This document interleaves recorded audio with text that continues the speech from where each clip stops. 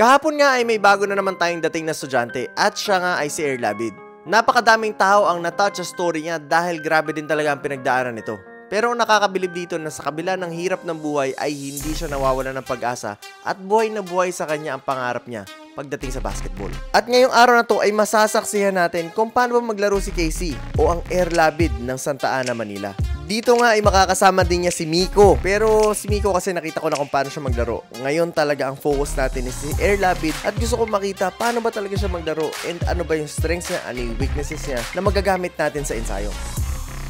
Okay, so guys, ngayon pupunta tayo sa court. Actually, excited ako kasi dumating nung nakaraan si Air Labid and na-introduce ko naman sa inyo si Miko. Last time, dumating si Miko. Si Miko yung 6'4 na kaya niya lumaro ng 2-3 pero he wants to improve and meron siyang malaking pangarap. Air Labid naman is, sa mga hindi pa nakakapanood, ang story niya is elementary grad lang siya. Actually, hindi nga natapos yung elementary niya. Hanggang grade 5 lang ata. Tapos meron siyang dalawang anak at the age of 19 years old. So, andun pa rin yung heart and passion niya na baka sakaling kahit ganun sitwasyon niya, eh magawa ng paraan or baga makuha niya yung break na hinahanap niya sa pagbabasketball niya. So, syempre tayo will do our best para makatulong sa kanila. So, sila yung dalawang bago natin na makakasama ngayon. And sabay silang dumating. So, makakasama natin sila sa iisang laro. Sakto mayroong dadayo dito na malakas daw yun ang team ngayon. So, hindi ako maglalaro. I just want to observe paano maglaro si Erlabid, which is si Casey, at saka si Miko. So, syempre, chemistry-wise, wala dahil first time nila magkasama. Plus, of course, na si Uncle Joey, si Coach Rene, at si Coach Jake. So, lima sila maglalaro. And makikita natin ngayon kung ano naman ang kakayanan ni Air Labid as a point guard. Kasi si Miko, nakita ko na maglaro yun eh. Nakakalaro namin siya before siya talagang lumapit at uh, maisip na mag-ensayo. Talagang nakakalaro na namin siya sa mga dayo. And unang beses nakita ko siya, sabi ko potential tong player na to. Hindi ko naman akalain na, alam mo yun, gugustuhin niya pala mag-ensayo dahil meron na siyang galing eh. Dami na rin niya experiences. So pagdating naman kay Miko, meron na siyang galing, meron na siyang experiences, talagang hinuhugot na siya sa iba't ibang mga lugar. So syempre, pag ganun na yung tipo ng player, hindi ko na iisipin na gusto pa niya mag-ensayo dahil ayun nga, decent player naman siya eh, nakakapaglaro naman siya kung saan saan. Height niya na 6'4, ang ganda na niya gumalaw. So nagulat lang ako na meron din siyang drive na talagang i-push yung sarili niya na maabot yung pinaka highest possible na career na maabot niya sa pag-basketball. So, silang dalawa makakasama natin ngayon. Kaya sobrang excited ako kasi just imagine sa isang laro, dalawang players kaagad ang makikita natin na nung nakaraan si Ashley, si Ashley lang, si Andrea, si Andrea lang. Ngayon, silang dalawa makikita natin sa isang laro. That's why I'm very excited and tara, lapin tayo sa court. Hingal ako. tara. Ako, coach. Tama natin si Casey. Ano Casey? Ready ka? Oo, oh, huwag ka mahiya ah. Labas mo ng laro mo ah. Okay? Walang papagalit sa'yo dito. Okay? Okay, syempre kasama natin si Casey, aka Air Labid ngayon. Kasama naman natin si Miko. Ayan siya si Miko sa mga hindi nakakilala, nakakalaro siya taga Imus, malapit lang sa atin.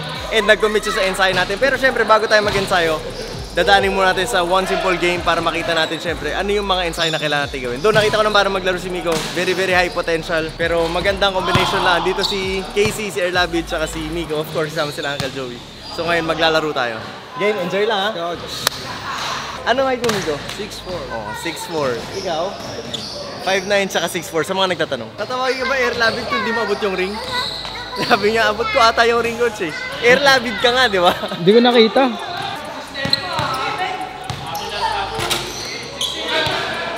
Okay, so guys, magsa-start na and tara makita natin paano maglaro si Air Labid at saka si Miko. Kasama si Uncle Joey, Coach Rene at saka si Coach Rick. Tara, panoorin natin. At dito nga ay nakikita natin na nahihirapan si Casey na parang hindi siya makasunod at hindi niya alam ang gagawin niya.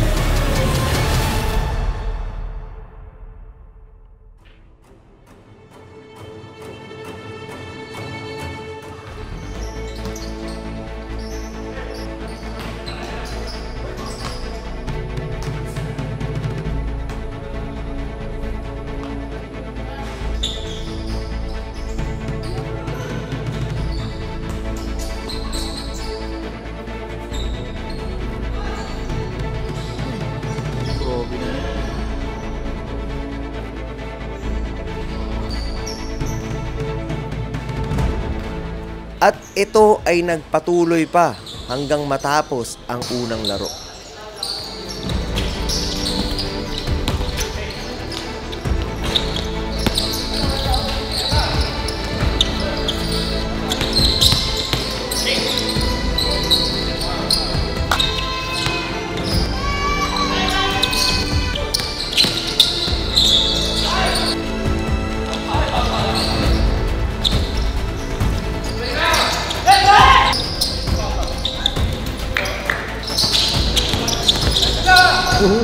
At ngayon ay natapos na ang first game at talagang walang naipakita si Air Labid. Wala siyang nagawa at hindi din natin siya nakitaan ng magandang laro. At yun ang dahilan kung bakit kinausap ko na siya.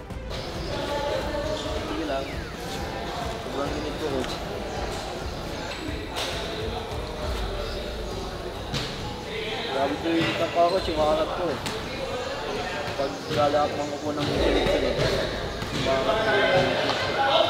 Pero kondisyon naman. Huling laro ko po. Ay, linggo po. Huling laro. Mo? Guys, observe ko na yung games nila and mamaya ah, pag-usapan natin kung ano, meron pa kasing second game eh. So, pag-usapan natin kung ano yung like mga na-observe ko and kung ano yung mga dapat natin gawin. Pero napakadami ko na-observe, napakadami ko nakita, napakadaming adjustments dapat mangyari, improvements na kailangan makuha. Pero yun yung challenging na part nun. Kaya, ito, panoorin ko ulit sila ng second game. Dahil talagang may tiwala ako sa player na to marahil hindi niya pa talaga na ilalabas yung kumpiyansa niya and kinakailangan lang talaga siyang kausapin at i-motivate. At dahil dito ay ito na ang mga nangyari sa second game.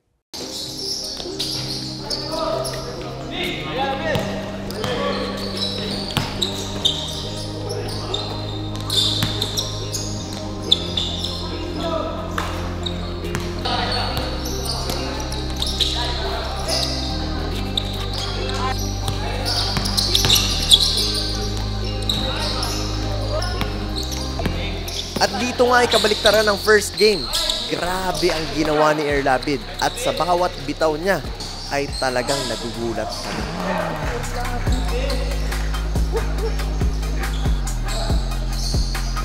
Woo!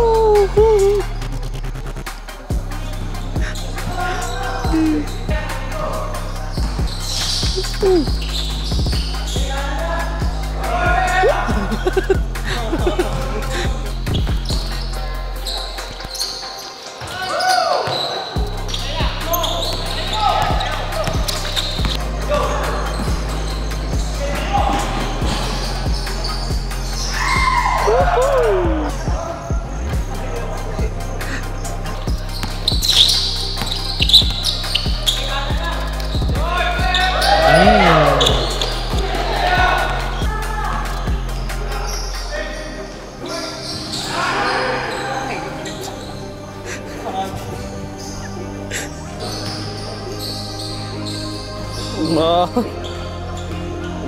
Ха-ха-ха.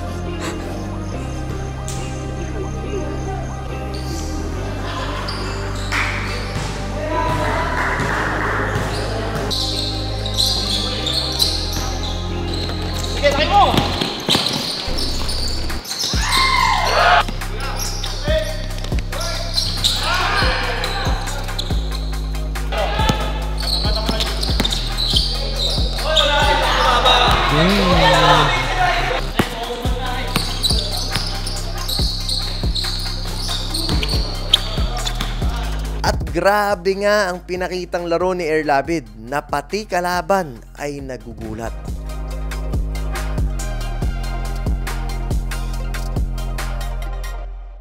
Mga papo kasi po dati po, pinapanood ko lang po, tapos kampi ko po kanina.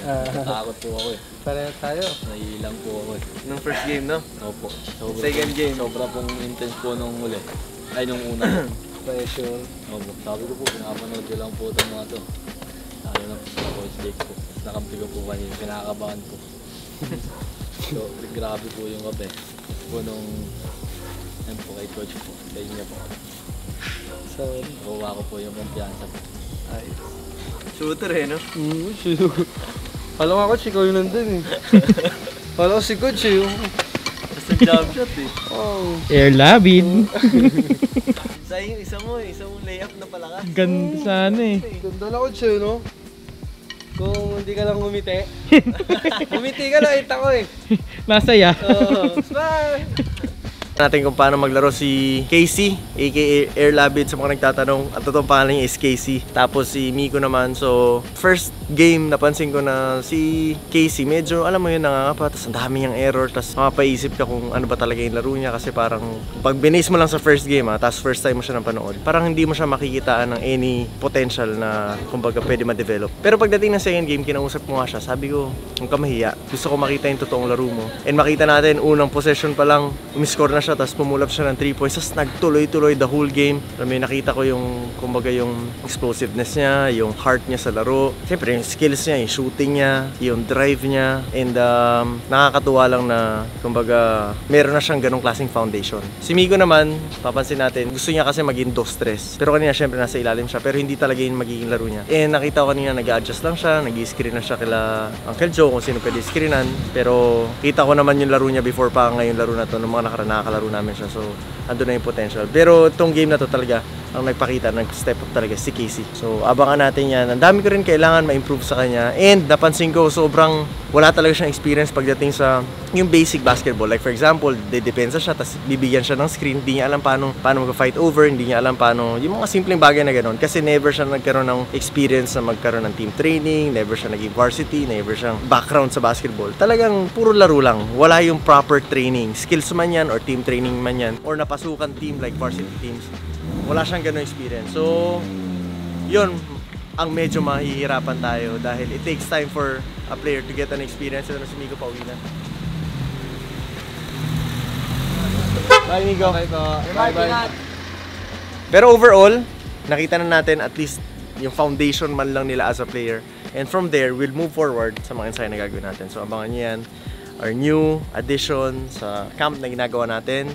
First, si Ashley nandito. Of course, si dalawang bata, TJ and Justin, and JM. Na dumating si Ashley, dumating si Andrea. Now we have Nico, and we have Air Lapid, or Casey. Kita kita tayo sa mga next camps and sa mga susunod na ensayo na gagawin natin. And kung meron mang mga madaragdag sa ensayo natin. So, yan ang abangan nyo guys. May God bless you. At ngayon nakita na natin kung paano siya maglaro. Napaka-shooter pala ng player na to. At hindi ito ang inaasahan kong playing style na meron siya. Andun ang Air sa pangalan niyang Air Labid. Pero ang shooting, grabe. At makikita ko na talaga, grabe yung potential, yung pag-develop sa kanya, yung skills na kailangan niya. Dahil sa laro na to, nakita na rin natin yung strengths and weaknesses niya. And yun ang gagamitin nating basihan para sa mga ensayo niya. Kaya't kung napahanga kayo sa laro niya, ay abangan naman natin kung paano naman siya mag-ensayo. So hanggang dito na lang muna guys and magkita-kita tayo sa susunod na mga videos kasama ang mga batang Mavs.